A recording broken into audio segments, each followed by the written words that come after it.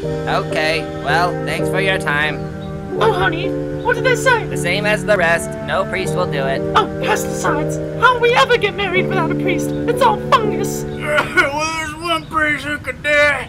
Ugh. I don't know, Xbox. I wouldn't trust any priest you'd recommend. Come on, come on. He can marry anything. Let's do it.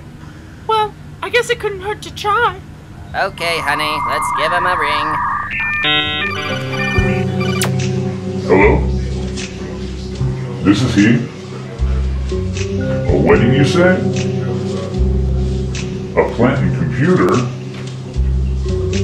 I can do that. See you then. This is going to be interesting.